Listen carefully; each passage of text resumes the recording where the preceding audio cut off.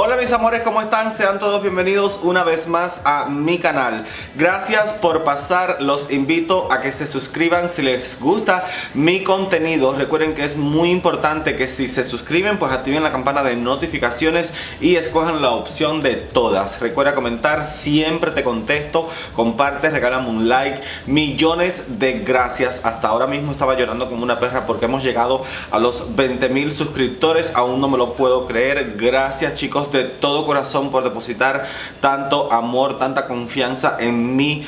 Yo lo único que puedo hacer es prometerles que de ahora en adelante pues el contenido trataré de que sea cada vez más espectacular, más creativo, más como que con esa calidad que ustedes de verdad merecen. Gracias de todo corazón. No tengo palabras para de verdad expresar cuán agradecida estoy. Y bueno, sin más, entonces nos vamos con el video de hoy porque tenemos muchísimas cosas de qué hablar. Ya comenzamos.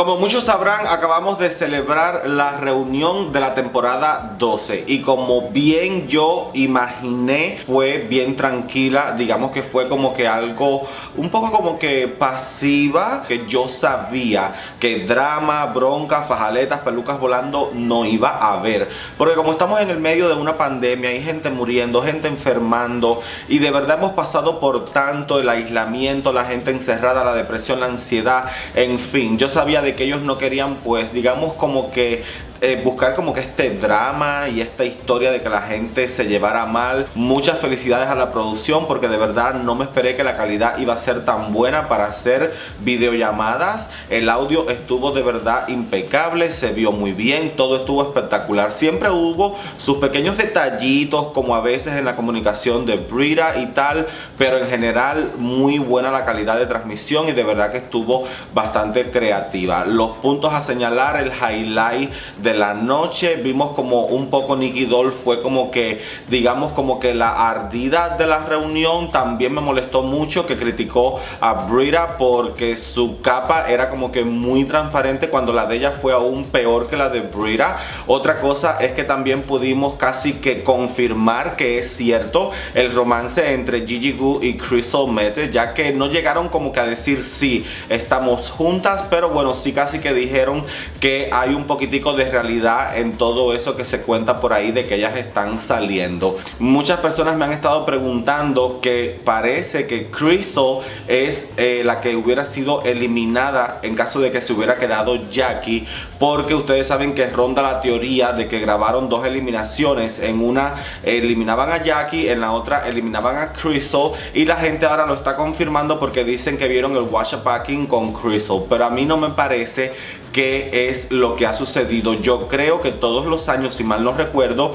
las finalistas también hacen su wash packing. Hasta que llegan de hecho a la que finalmente gana, que es la última que hace ya lo que es la serie con Michelle. Y ya que estamos hablando de Crystal, quiero de hecho dejarles la invitación abierta para que disfruten de ella y muchísimas artistas de primer nivel del drag mexicano en el Corona Dragital que se va a celebrar el próximo 31 de mayo.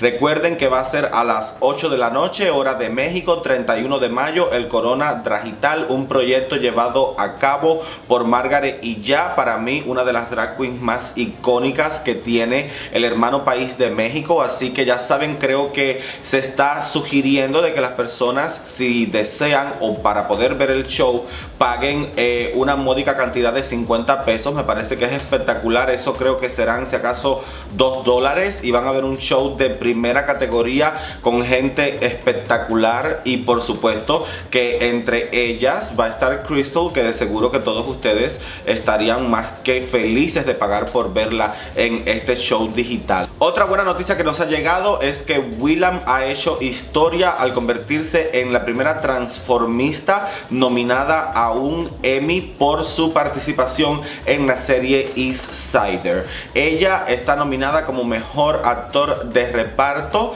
en esta edición del año 2020. Si gane o no, ya eso habrá que esperar a la ceremonia, pero al menos sí ha hecho historia ya que nunca una transformista había sido nominada ni en esta categoría ni en esta premiación, así que ella está de verdad siendo ahora mismo una pionera y de verdad que bueno, nosotros súper feliz por ella para que ustedes vean de que después de quedar canceladas por RuPaul siempre hay una posibilidad de salir adelante, así que todo no está perdido. Y hablando de cancelada por RuPaul, recuerden que en el pasado tuvo un gran encontronazo y bueno pues dijo de verdad de que RuPaul la había tratado casi que como una perra cochina en la grabación de la temporada 7 y bueno como ustedes saben no hay que ir a la escuela para darnos cuenta de que esto casi que a Pearl le ha costado su carrera ya que después que dijera esto en Hey Queen ella casi que la desaparecieron. Marica no está en gira no se presenta en ningún lugar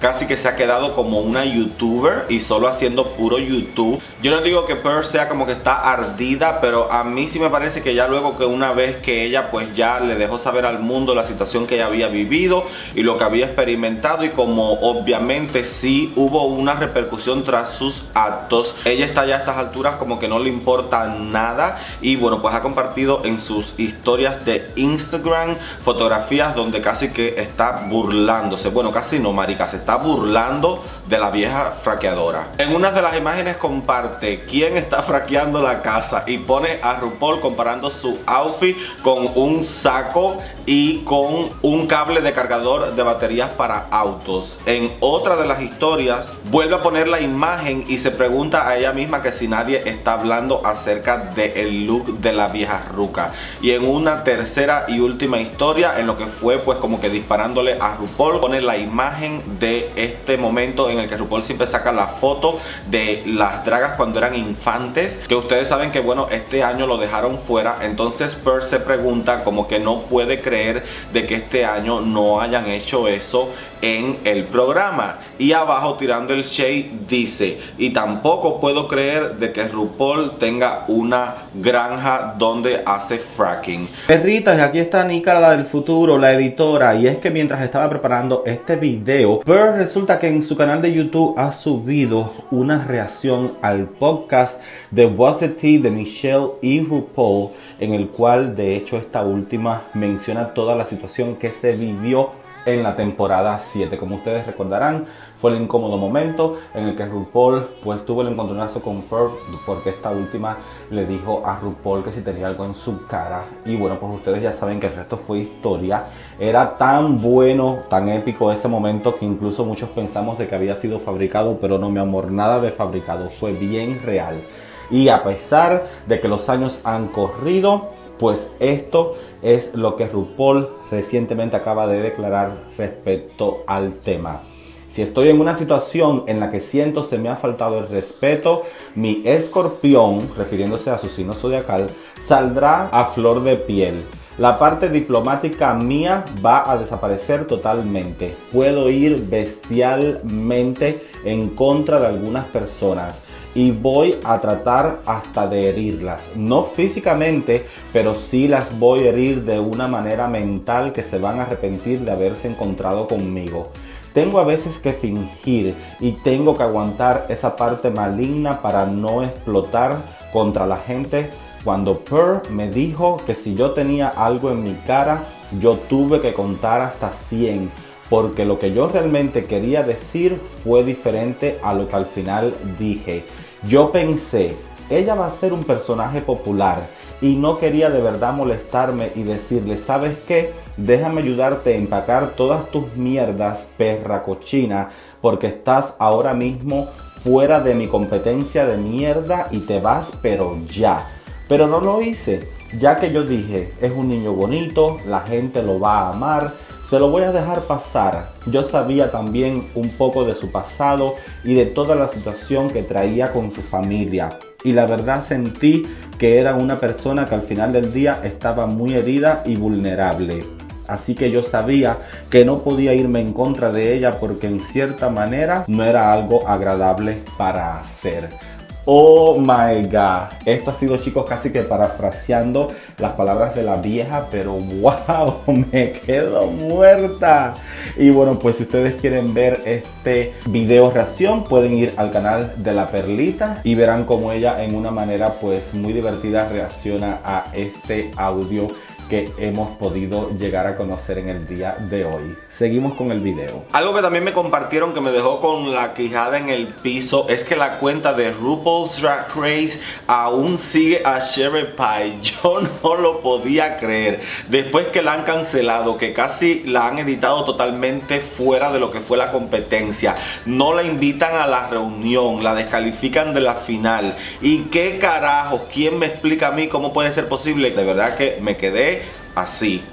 Hemos recibido la noticia que Fifi O'Hara, que como ustedes saben también hablamos un poquito de ella en el último video, pues ha declarado la razón por la cual ya no quiere que la llamen así por su nombre artístico por el que se dio a conocer Fifi O'Hara y esto es lo que el artista tiene que decir. Llevo años queriendo dejar de actuar en drag. Cuando mi pasatiempo se convirtió en un trabajo, murió para mí. Me encanta la reacción y la respuesta que recibo por crear piezas y personajes increíbles, pero con el drag volviéndose mainstream han surgido grupos de, entre comillas, expertos que no tienen experiencia en otro arte que no sea ingresar en su cuenta de Netflix y se han llevado la diversión. Muchos que no lo entiendan usarán la excusa de, entre comillas, una vez más, bueno, chica, las bestias destripan cualquier cosa, cerrando comillas. Es cierto, pero a diferencia de las ovejas, me niego a seguir la corriente o a seguir exponiéndome a situaciones en las que no disfruto de lo bueno y lo malo.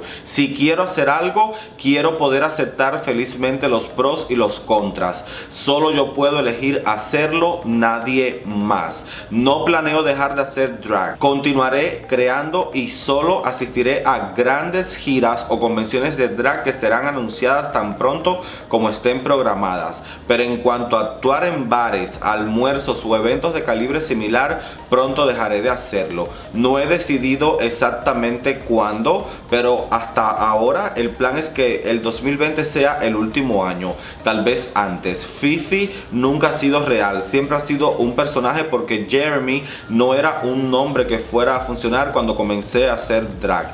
Fifi ha sido un gran recipiente para que mi arte cobrara vida, pero al final del día me he dado cuenta de que nunca la necesité para mostrar mi arte. Me siento honrado de haber podido crear y dar vida a un personaje tan poderoso que a veces ha complicado a los fans el separarla de mi persona, como si ella tuviera el poder de lo que hago. Mi arte continuará, mis creaciones continuarán y mi pasión por el entretenimiento se mantendrá aquí y siempre será feroz, pero bajo mi nombre, Jeremy, el artista. Estoy aquí y no me iré. El nombre de Fifi se irá en breve. Espero haber aclarado las cosas o haber respondido las preguntas que muchos de ustedes se han estado haciendo. Besos. Y así pues bueno, ella deja aclarado una vez y por todas de que el nombre va a desaparecer, cosa que a mí la verdad no me molesta. Muchas de estas chicas hoy en día han de verdad cambiado de opinión respecto a sus personajes, a sus nombres. Tenemos el caso de Aya, tenemos el caso de Tyra, ahora Fifi y me imagino que así pues digamos que eventualmente mucha gente también irá tomando el mismo camino, la misma medida, la verdad, mientras que ella siga haciendo sus presentaciones y nos siga regalando su arte en las redes como aquel épico reto que hizo de los 365 días en drag. Yo creo que nadie ha hecho algo tan ambicioso y tan grande como ese proyecto de Fifi O'Hara que fue de verdad épico. Y bueno mis amores, así terminamos entonces el video de hoy. Una vez más, gracias por los 20 mil suscriptores. Espero que sigamos creciendo la familia muchísimo.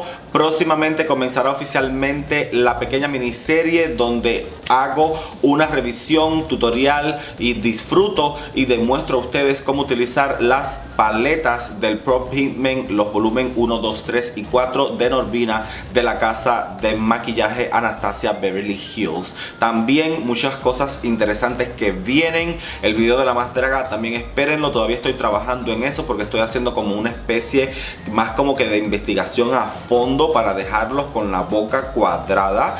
Y bueno, pues nada, este viernes, Dios mediante, nos veremos entonces en vivo. Los espero por Facebook, por Twitch, donde me pueden seguir para disfrutar de la gran final de esta temporada 12, donde también tendremos de hecho All Star 5 y el Drag Race Canadá en su primera temporada. Sígueme en todas mis redes sociales, Anika Leclerc, donde siempre estoy súper activa, no tan pasiva como por acá por YouTube. En la descripción de acá del video también dejo los links de los restantes medios o en las plataformas donde me puedes encontrar como Discord, mi podcast y mi tienda digital. Muchísimas gracias y nos vemos en un próximo video. Chao.